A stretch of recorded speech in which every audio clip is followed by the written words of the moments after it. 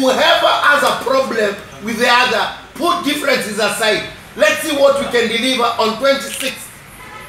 I'm asking Mombasa residents because we're touching on Mombasa.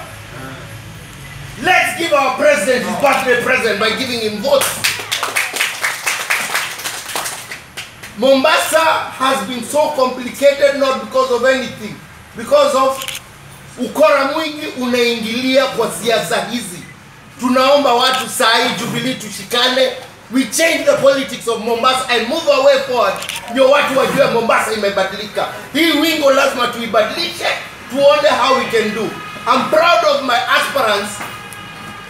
Chama zingine chama zingine wanaenda, lakini hawa wameprove wameshikana mpaka saa hii and they are still with the party because they love the party. They didn't come to the party because they had selfish interest. This is the team behind Uhuru Kenyatta. And we are other like-minded groups, we have very many groups who have the will. Let's unite, let's support all those teams. And we come as one and we'll do a lot of changes in Mombasa.